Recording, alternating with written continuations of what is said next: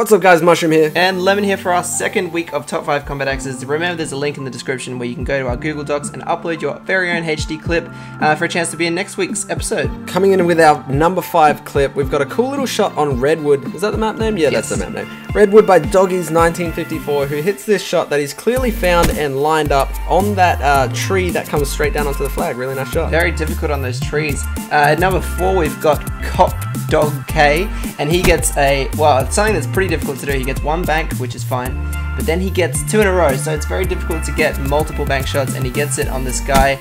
Uh, off the uh, the house there, that was really sick. A nice little angled bank. It was also in hardcore, just another tidbit. Number three, we've got Fetus Fruit, who gets his first ever quad combat axe on Black Ops 3. Really cool shot. I, I believe this is on the mode Safeguard, but he's not actually near anyone um, going for the robot. So I thought that was worthy of the number three spot. Really clean, on screen four.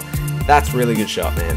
Very nice. At number two this week, we've got an awesome clip on uh, the map Exodus, and this is X Amp Amp Epic. God, these names are weird, but he stuns the robot to like stutter the end of the game so the game doesn't finish and then goes for a bank so it's like kind of tactical like a skill play there. yeah, so he didn't want the game to end, so he made the robot sort of defuse. I don't really know how Safeguard works, but He forced a time limit. That's he forced it like to that. yeah go into then gets a wicked freaking bank. I mean, that's sick.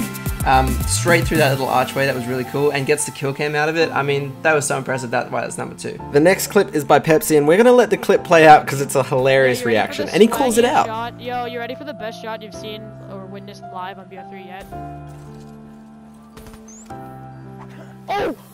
Oh! Oh my god! Oh my god! Holy shit! No way I hit that! There's no way I hit that! Yo, I'm getting on extra MX top flames. Saber. That clip is gonna put me in Saber. Under the train! No way! So that was insane. Um, his reaction was even more insane. So props to him. Links will be in the descriptions, guys. He will be our winner uh, for the uh, Call of Duty KontrolFreek. So well done to Pepsi. That's right, Pepsi. Hit us up on Twitter. It worked out last time. If you hit me with a follow or whatever as soon as you can, I'll hit you with a follow, and then you can DM me the information that we need to get you that sent out to you, so you get your pair, brand new pair of top five KontrolFreek. That's right. So guys, that's the incentive for next week. So make sure you submit, and we'll see you guys next time. Peace.